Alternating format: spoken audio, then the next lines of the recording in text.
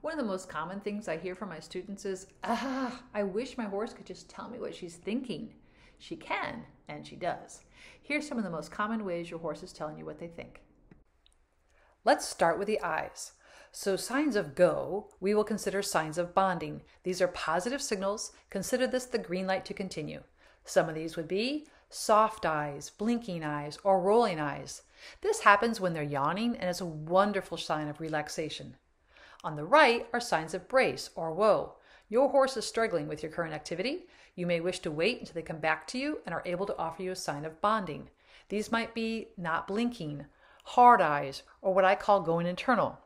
What I mean by this is that your horse has left the building. They are more focused on what is going on inside of them versus what you are trying to offer them.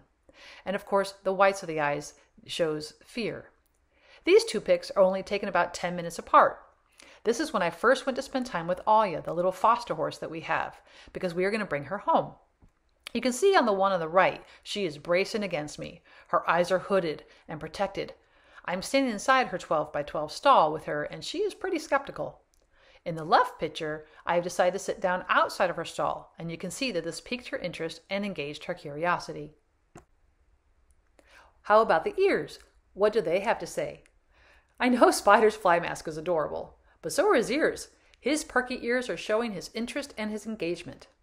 Other ear signals that mean you're good to go are soft, pliable ears and thinking ears.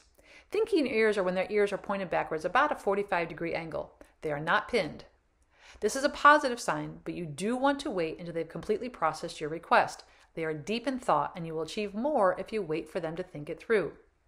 On the right are some of the signs of brace, such as taut ears or pinned ears. This is a hard no.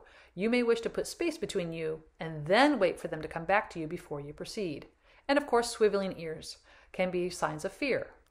Fiesta is demonstrating her concerned ears. She just made a big musical chirp with the electric piano in front of her, and her ears are saying, Yikes! So we just waited for her to process it through, get rid of her concern, and continue her investigations. Let's talk about noses and nostrils. Our horses say so much with their noses. Some of the signs of bondings are touch ins, which the black horse on the left is demonstrating, such an open hearted communication, round open nostrils, nickers, and rubbing their front legs with their muzzles. Some people consider this meaning, oh, I get it. Another thinks it's a sign of relaxation. But either way, good to go. Signs of brace are on the right flared nostrils, wrinkles behind the nostrils, or nostrils pulled into a tight, skinny O. Willow, my Bay Morgan on the right, is telling me, back off with your silly camera, missy. I was taking pics for a presentation and I was creating, and she had had enough. The answer? Done for the day. Mouths. There are all sorts of ways our horses can tell us their feelings with their mouths. Some of the signs of bonding are soft lips, licking and chewing, rubbing their front leg with their muzzle, a soft chin, wiggling lips softly, Paloma, the gorgeous Mustang on the left, is demonstrating one of my favorite mouth messages. I call it the lip of joy. She is telling her human, You rock! Keep scratching with those magical fingers of yours.